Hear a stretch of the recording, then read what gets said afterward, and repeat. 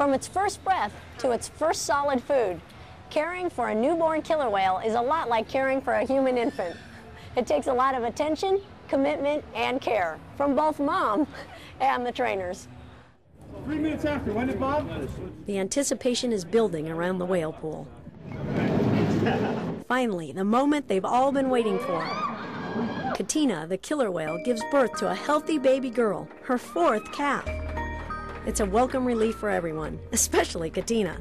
Imagine carrying around a 350 pound baby for 17 months.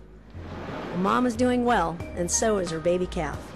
She is um, right on track as far as uh, any indications such as growth, and she's nursing quite well. We do have trainers monitoring her 24 hours a day. Jenny Mayrow is a trainer with SeaWorld of Florida. And just like any proud parent, Jenny works to make sure Katina and her newborn are happy and healthy. Each, each whale is special to us. Um, they all have their own uniqueness about them, and we're just excited to see how she develops and begin to interact with her just a little bit more. Bring your little one down. Come on down. Here she comes. Interaction with the trainers begins when the calf initiates it within the first few months, a critical time for the calf's development. That's when the baby whale learns how much fun it can be, from vocalizing and squirting water to jumping with her mother.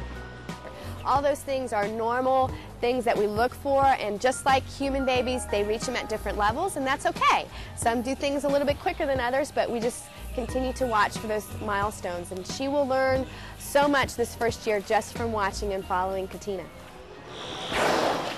While the baby whale makes waves discovering her new world, trainers are also learning some important lessons. We've learned a lot about um, the nursing patterns, what it looks like, how it occurs. We've learned about milk content. Hi! Did you bring your beautiful baby with you? Your two beautiful babies. Developing a strong bond between trainer and animal is key for a healthy birth. It comes down to trust and respect. Being connected to the whales and actually having that relationship and then seeing them successfully give birth and nurture their young is just so fulfilling. These trainers sure have a lot to be proud of. Besides this calf, 10 other killer whales have been born and raised in SeaWorld parks across the country, making it the most successful killer whale breeding program in the world. For Animal Wise, I'm Julie Scardina.